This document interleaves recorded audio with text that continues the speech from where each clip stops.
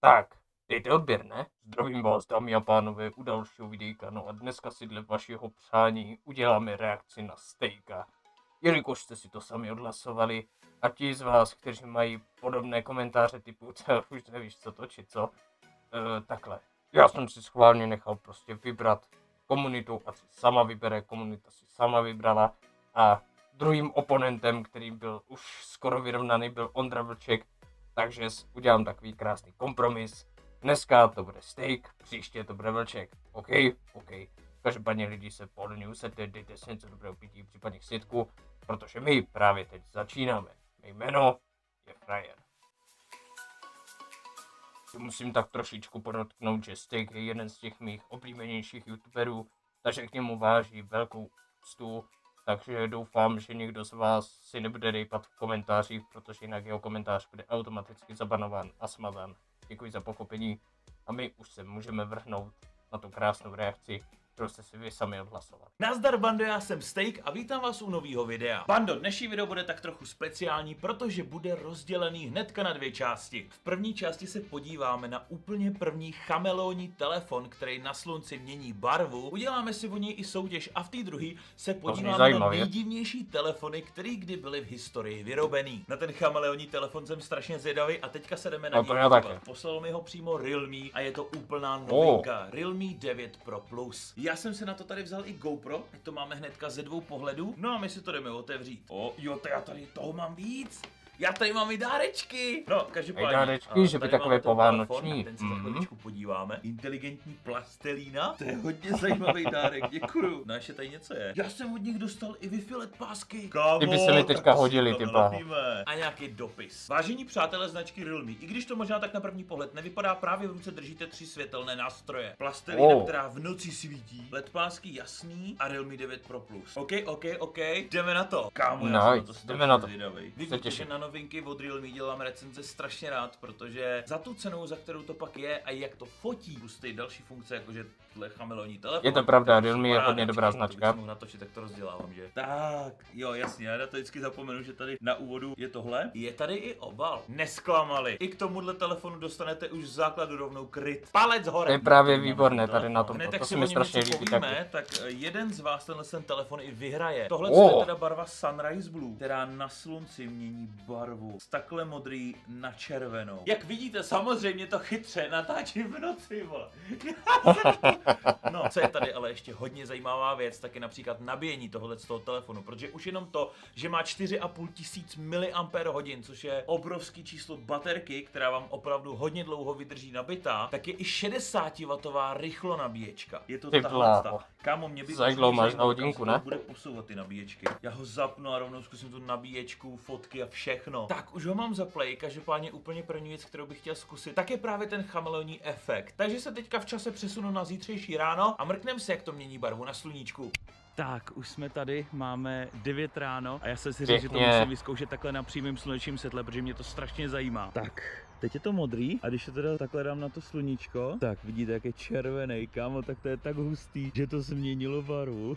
Nejvíce to teda vidět na tom rozdílu u těch foťáků té barvy. je to hodně teďka, pěkné, hodně zajímavý efekt. Tak to za několik minut vybledne, ale když s tím budete fungovat normálně jako ve dne, tak vám tahle ta barva může vydržet až 48 hodin. To je prostě šílený, že máte modrý telefon a najednou je takhle červený. Co chci říct, jo, tak návrháři z Realme udělali 200 návrhů, než to dopadlo takhle. Takže to nebylo hned, ale je to fakt hustý. To pevně líbí. Teď je to hodně dobře vidět, takhle ve stínu, že to je fakt jako úplně červený. Tak, už je zase modrý. No a například, když teda uh-huh. už jsme byli u té barvy a teď jsme u toho designu, tak mě osobně se ten telefon hrozně moc líbí. No a hlavně ta barva, to je prostě taky líbí, hodně pěkný design, vyhráli jste předu, tak si můžete všimnout, že přední kamera je umístěná takhle v rohu a je tam vyloženě jenom výřez na tu kameru a zbytek zbytek normálně pokračuje display. No a když už o tom mluvím, tak se rovnou podíváme na ty foťáky. Tímhle s tím se tam za mnou věřím, že to budou krásné fotky. Tady vzadu můžete vidět tři čočky. Ta hlavní má 50 megapixelů. Pak je tady super širokouhlá čočka, co má 119 stupňů. A taky wow. tady je makročočka a ta dělá krásný makrofotky už ze 4 cm. To můžu tak už to je bomba. z prvního pohledu, tak se mi hrozně moc líbí ty barvy v tom displeji. Samozřejmě tady můžete fotit na noční scénu. Je tady dokonce i režim. Takže noční režim, velké plus. Nejradši portrét. Tady jsem si Určitě. takhle vyfotil kameru, když to přiblížím, vidíte, jak je to prostě ostrý. Jak to vlastně krásně vytáhne ten předmět do popředí. Já si tady vyzkouším i přední kameru, protože tam mě Uril mě vždycky bavila a už můžu říct, že ty světla jsou úplně boží. Kámo, tak to je hodně dobrá kvalita. Ty fotky jsou fakt čistý a mega pěkný. Na to, že to je přední foťák, to fotí fakt hodně dobře. Jinak, tady máte i další funkce tohohle toho fotoaparátu. Když tady mám ten mod ulice, tak tady se dá nastavit například i expozice, to znamená malování světlem, dopravní špička. To jsou pak takové ty krásné fotky, jak tam třeba někdo stojí a na té ulici jsou rozmazaný světla od aut. Kámo, já chci si zkusit Jo, jo, jo, to jsou celkem pěkné fotky a vždycky mě zajímal ten efekt, je to fakt super jako. Kámo, tak to je hustý. Tady jsem si se trošku mázl a to z toho důvodu, že jsem to fotil já, sám sebe. Ale kdyby vás někdo fotil, kámo, to je mega! S tím se dá vyhrát, tyjo. Už v základu tady samozřejmě máte různé Můžete třeba přesto dělat i náhledovky na YouTube, víš co, a ten základní efekt, když 90, v základu, jako je to super jako. 90s pop filtr. Dá se to využít určitě. Já bych proto měl využít i hnedka. 4K. Další super věc je například tenhle ten display. To je 90 Hz super AMOLED display. No, tak tady se nemáme o čem bavit, to toho, Dotykový senzor na tom displeji vám dokáže změřit tep. Procesor v tom telefonu je 8 jádrový. Jak vidíte, tak ten telefon je i tenkej, má 7,99 To se mi strašně na těch telefonech líbí, že jsou prostě tenké, maličké. videa nebo například Top. filmy, tak má i duální stereo reproduktory z Dualit, tady samozřejmě nechybí ani Steráky, duální no jasné, SIM karty, samozřejmě telefon podporuje 5G, co mě přijde na telefonu, že a kdybyste na něm chtěli třeba hrát nějaký náročný hry, tak tenhle ten telefon má chlazení parní komorou. Takhle, já jsem tady dostal takový brief. Takže eh, vy hráči jste za vodou potom. telefonu. A třeba ohledně toho chlazení, tak ten brief tady dokonce píše, že tenhle ten telefon má pětivrstvý chladící systém. Masakr. Má tu USB-C, já zkusím ještě to super rychlý nabíjení. To je USB-C se bude ještě vyvíjet a za chvilku bude u každých Tak telefonů, to je takže něco jenom jako hustýho, vidíte, jak rychle to nabíjí, tu baterku. A to si vemte, že ta baterka má 4,5 tisíce mAh.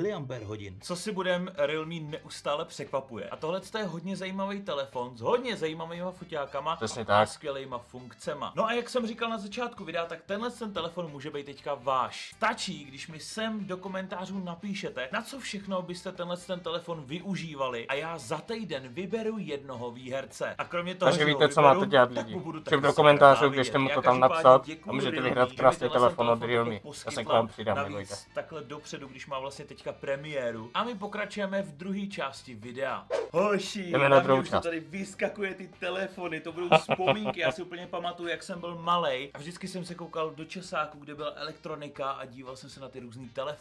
Tohle je Taky jsem se Motorola tak díval. V70 z roku 2002, to je 20 let starý telefon. A já teďka vůbec netuším, proč to je takhle vyklápěcí. Co to mělo být? To je tam asi fakt jako zbytečný. To je ochrana tlačítek. A vidíte, jak ty starý telefony měly prostě ty antenky. Možná tady je to mikrofon, nebo nějaký mini repráček, že si to to byla naše a tak si frajeřina možná ještě v našich hovor, letech. Že jsi takhle telefonoval. Nokia 7600 z roku 2003. Koukám, že tenhle ten telefon už má barevný displej, což byla v té době velká věc. Každopádně nějak jsem nepochopil tyhle ty tlačítka, že jsou takhle zvláštní. A ten telefon To je jak obecně MP3 prostě přijde, divnej i do ruky věřím. Jsi čtvercový telefon. Tenhle mobil si moc nepamatuju, Pěkně. když jsem byl malý že by se někde nějak extra prodával, nebo že by se někde chytil. Každopádně Nokia v té době vymýšlela všechny možné verze. telefonu, Nokia jela hodně nahoru. ještě uvidíme. Jak když vidím, že Jasné. jsou ty tlačítka takhle po bokách, tak mně to přijde hrozně divný, protože my třeba dřív, když jsme psali SMSky, tak jelikož jsme přesně věděli, kde jsou jaký tlačítka, tak jsme se na to nemuseli dívat. Já jsem třeba vždycky psal SMSky takhle pod lavicí, že jsem měl takhle telefon a normálně jsem psal docela rychle zprávy a nemusel jsem se na to ani koukat. Tady by mě to asi dělalo problém. O čem jsem mluvil? Tohle byl mobil, který chtěl mít úplně každý, nebo aspoň minimálně já, protože v té době začínaly Gameboye a tohle byl, dá se říct, jeden z prvních herních telefonů. Nokia N-Gage z roku 2003. To byl snad první telefon s takovýmhle joystickem, ne? To ani nevím, že tady měl joystick. To je hustý. No, v té době prostě telefony fungovaly tak, že byly různý segmenty a každý telefon byl na něco jiného. Tenhle byl herní. Přesně tak, vím, dneska už máte jeden telefon doslova na všechno. byly jako Walkmany, že prostě byly jenom na hudbu. Já měl nějaký, co to bylo, Sony Ericsson. Ten měl vzadu takovou výklopnou krytku foťáku a ten byl zase třeba na focení, i když v té době ty fotky Taky jsem ho měl takový. Dokonce ho to ještě někde mám a mám taky dojem. vypadal trošku jako nějaká ruční konzole. Kamo, jeho tak strašně chtěl tenhle ten mobil, když jsem byl malý. Já to je úplně skvělý. Co to je? To jsem nikdy neviděl. Samsung Sirin z roku 2005. Proč to má takhle divnou Lol. klávesnici? No to vypadá A vidíte, jako už starý telefon, byly také telefony. Někteří z Wow. vás už možná nepamatujete, ale třeba moje babička ho fakt jako hrozně dlouho měla a to byla pevná linka a tam byly dírky na číselníku takhle do kruhu, jako je tady. A vy když jste chtěli telefonovat, tak jste museli tu dírku takhle vzít a takhle ji dostat úplně přes celý až na nějaký konec a to se pak počítalo jako to jednotlivý číslo. V té době ještě neexistovaly klávesnice na telefonech. To bylo Přesně tak. s tím telefonovat. Tohle to asi by se s tím dalo naučit, ale je to prostě nelogický, ta klávesnice. Asi bych nějak otáčel s telefonem, no. 80 z roku 2004. Já vím, že tenhle ten telefon Lol. existoval, koukal jsem na ní právě v nějakých časopisech, ale i když jsem ho neviděl naživo a nevím, kde to má klávesnici, protože v té době Já jsem jako si jenom původně myslel, že jsem to je ovladač k televizi. skrytý, to z toho vytáhnete. Hodně naivní jsem byl asi, jak no. Fungovalo? Proč se to takhle vysouvá a zasouvá? To je hrozně zvláštní. No je to divný, hlavně, že to má displej jako na stranu, že to nemá displej jako klasický telefon ale že na to musíte být takhle. No evidentně v té době designéři moc neřešili. Blackberry, jasně. No, Blackberry to byly byl asi největší svině, no. Který měl klasickou klávesnici. A já Ale byly to topový telefony. Nevybavuju si, že by teďka nějaký telefony měly klasickou klávesnici. Každopádně tenhle ten telefon je z roku 2014. No je to 8 let, to už je docela dlouho. Já bych To si teda osobně telefon, který má klasickou klávesnici, asi nevybral. Dámy a pánové, tohle je Samsung Juke z roku 2007. Z nějakého důvodu si můžete hrát s tím displejem, že ho můžete vysunout, pak ho dát na bok. Nevím proč, ale asi, au, jau, asi to v něčem bylo dobrý. Do brňavky? Je to úplně zbytečný, Jo, to je ale vypadá to, že to byl asi hudební telefon. Jenom hádám, protože na tom displeji je music. A většinou se právě propagovalo focení hudba hry. Higher Přesně P7 tak. Penphone Bylo z to roku tak. 2007. Tak o tomhle telefonu jsem nikdy neslyšel. Každopádně v té době to fungovalo tak, že čím menší telefon, tím byl lepší. Takže se fakt jelo na minimalizaci. Jak A dneska je to zase opačně, Z nějakého důvodu. Tak i co Já třeba osobně mám rád malé telefony, já jsem zastánce malých telefonů. Tak asi to dokázalo něco psát, nevím vůbec. Nevím, jestli to bylo jako upgradeovaný pero na nějaký interaktivní tabule, se kterým jste mohli telefonovat, ale vypadá hrozně divně. To bych si v životě asi nekoupil. Dámy a pánové, jak jsem mluvil o těch telefonech, tohle je Samsung Galaxy K Zoom. To je telefon, který zároveň vypadá jako foťák. Takže vlastně Ten možná jsem naživo viděl a byl to telefonovat. topový telefon v té době jako- hodně to byla zajímavý. topka. A reálně by mě zajímalo, jak to fotilo. Každopádně tohle je taky asi 10 let starý telefon. A úplně bych asi nechtěl tohle nosit v kapse. Vemte si, že nosíte docela tlustý telefon takhle. A když chcete fotit, tak nefotíte normálně, ale musíte něco zmáčknout. A z telefonu vám vyjede objektiv. Kámo, tenhle si pamatuju. Ježíš Maria, to byl v té době hrozný jako business telefon. To byl nejdražší telefon, který jsem v té době viděl. Prostě ze Něco jako dnešní iPhony, ale úplně. Jste ho V tom to otevřít má tam pravdu. jeden velký displej a klasická klávesnice. Ježíš to, To byly fakt drahý telefony, tady jako toto. postavený manažeři, protože na tu dobu to snad stálo dvě vejplaty, možná tři vejplaty. To byl extrémně drahý telefon. To je jediný, co si pamatuju, že to byl extrémně drahý telefon a že byl takhle otvírací a že byly dvě verze. Kámo, to je masakr, co v té době existovalo. Ono obecně, když se na to dívám, tak Nokia se celkem zbláznila a snažila se evidentně vymyslet všechno otvírací. Ale tady je hezký, že už když jste otevřeli tuhle tu klávesnici, pod který byla druhá klávesnice, a z druhé strany té první klávesnice byla třetí klávesnice, že se vám mohl otočit displej, když jste si ten telefon dali takhle. Tam je klávesnice, byly to prostě- jako byla to doba klávesová, dámy a pánové. jako ale asi se na tom dali rychle psát e-maily. A vemte si, že máte vlastně klasický telefon a takhle ho otevřete. A tady máte druhou klávesnici. To muselo být na machrovačku jak svině. OK, další takováhle zvláštní Nokia N93. Ježíš, ale ten vypadá celkem topově. Neříkám nic. Protože když jste chtěli narvat klasickou čočku do telefonu v té době, tak to fakt nebylo ono. Takže to prostě v té době vyřešili jednoduše a do telefonu narvali klasický objektiv s foťáku, Tak, tak. se tím ale přemýšleli. A dali ho ještě k tomu bokem. objektiv je tady, Topový. display. Tak to byl možná první selfie mobil, ne? No asi jo. Asi jo, určitě. má 3,2 megapixelů. V té době to bylo jo něco hustýho. Tenhle si pamatuju, tenhle mobil jsem taky hrozně chtěl. Tak to ani nevím. malej. To je prostě klasický telefon, ale spodek klávesnice můžete úplně otočit a pak přesto můžete ovládat hudbu. Že tam byly tlačítka na play, další song, předchozí song, pauznutí, to bylo hustý. Kámo, Ok. Sony Ericsson V20i. To V bylo Ten to dvojitý si pamatuju a ještě si jej pamatuju, Můžete jak to bylo v tom letáku, vidět tohle si pamatuju. Všechny telefony, co měly tohle dvojitý Včko, tak byly speciálně jako Walkmany. Myslím, že tohle byl vysouvací telefon, ale když jste ho měli zaklaplý, tak jste normálně mohli poslouchat hudbu a tady jste na to měli takhle speciální tlačítka. A dostávali jste Ano, k tomu právě ano. sluchátka speciální od Sony Ericssonu, kterýma jste taky mohli přepínat hudbu. A teďka Přesně si řeknete, tak. že to je blbost, jo, ale v té době to prostě bylo něco. A fakt, kdo měl Sony Ericsson Včko, tak byl největší king ve škole. To bylo sice potom, co už byla Nokia 3310.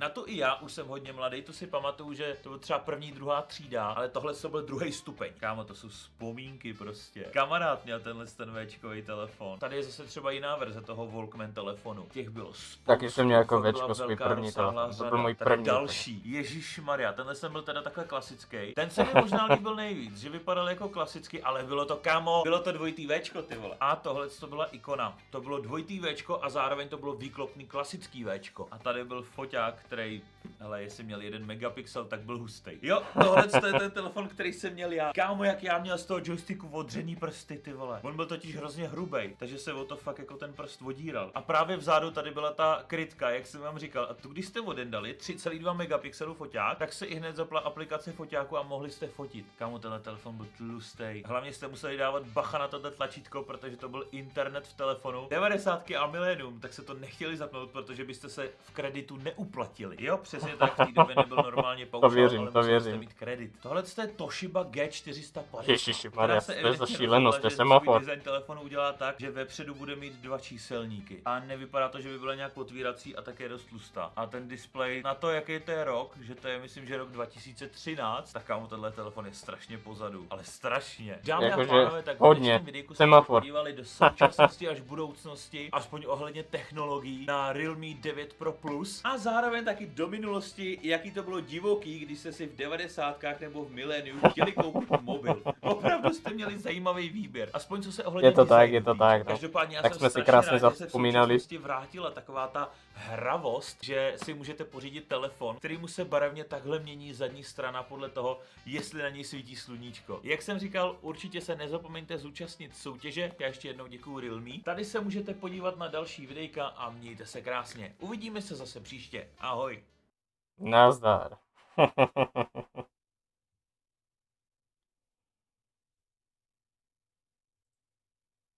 Tak a tohle byla reakce, dámy a pánové, na stejka. Já doufám, že se vám líbila. Pokud ano, zanechte like, případně koment. Hlavně mi můžete napsat i komentář, jak si užíváte zatím prázdniny někteří z vás. Můžete mi to klidně dolů napsat. No a my se budeme na vás těšit opět v dalším videjku. Takže se mějte a hlavně ve zdraví. Kus.